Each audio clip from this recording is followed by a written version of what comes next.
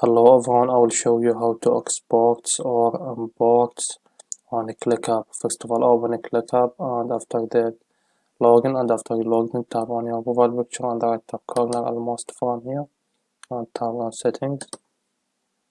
And from here click on imports and exports option.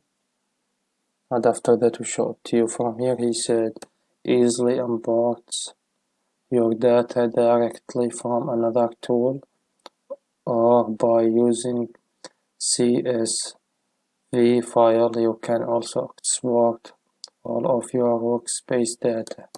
And after that if you want to export your data tap on start export from here. Or if you want to import tap on start import for example. And from here select source of import Asana or Monday.com or Trello or whatever software you are using or you can choose your uh, Excel file or any file from here tab on tab on import from file and upload data from file from here.